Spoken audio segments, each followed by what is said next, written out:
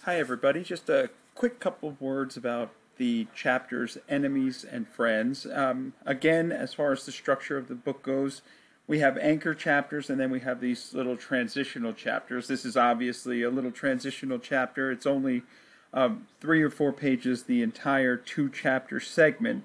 But I think it's important that we get a sense of just the rawness of nerves in that situation and how everything is amplified. A simple dispute between uh, two soldiers becomes something far greater when you're talking about every moment being a life or death situation. When we when we have little arguments at home or in school, it it's these things blow over. But when you're dealing with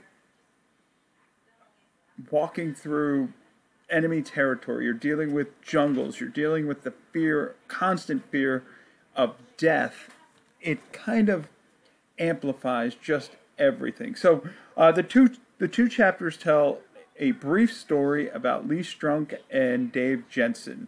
Now, you ask yourself, why does this chapter matter? Well, first, it establishes the concept of trust in life or death situation. It's hard enough having the enemy in front of him, and that, this is what Dave Jensen says after um, after the whole incident with the jackknife, and Lee Strunk winds up having the jackknife and everything like that. And there's that funny moment at the end of the enemies chapter. It gets a little bit more serious in the friends chapter, and and Dave Jensen is struggling with the fact that he's got this enemy in front of him, the Vietnamese Viet Cong, and he also now has this psychological enemy behind him because he thinks uh, Lee Strunk might might uh, take his life. Might after he broke his nose, he thinks it might be time for retribution, and there's this constant fear. And second, it establishes, like I said, the rawness of nerves in that environment. It's hard enough, again, having an enemy, but throw all of that on top of it, and it makes a situation just unbearable. And that's what Dave Jensen is going through an unbearable situation in his own doing. I mean, he's the one that kind of escalated the argument with Lee Strunk, but Lee, is, Lee Strunk is the one that took the jackknife. So it is kind of a justifiable argument, but we see just the extremeness of it as as the situation unfolds and their dispute uh, kind of progresses. I love how they become friends, though. Um, it says it didn't happen overnight. It wasn't just like all of a sudden, hey, let's be friends. But eventually, they realized that trusting one another was more important than uh, their dispute, and they came to a mutual agreement. In fact, they came to uh, what they call in the text a wheelchair pact. The two of them are discussing what to do if one or the other should be wounded to the point of not being able to walk. The extreme life changing injury versus a simple well, not simple, but versus a common wound. And they agree that if either of them should have a wheelchair wound, that the other one would kill them rather than have them suffer through a life of misery. And then the situation comes.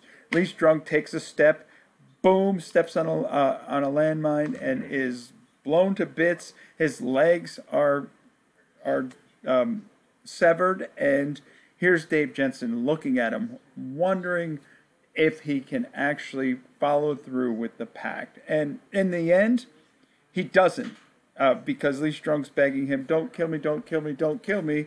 And then um, Dave Jensen just simply can't do it. Uh, Strunk frowned at the sky. He uh, he passed out again, and he woke up and he said, "Don't kill me."